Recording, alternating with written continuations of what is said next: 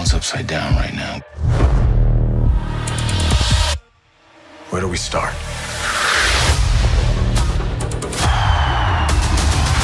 Superheroes that cannot be allowed to exist. They need a cap. Damn right.